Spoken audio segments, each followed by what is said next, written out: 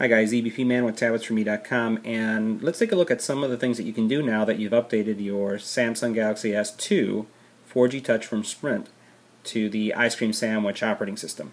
So one of the things you immediately do is you have the ability to multitask and switch applications. So here what you see is the ability to actually see all the applications that you had open and you did this by pressing and holding the home button.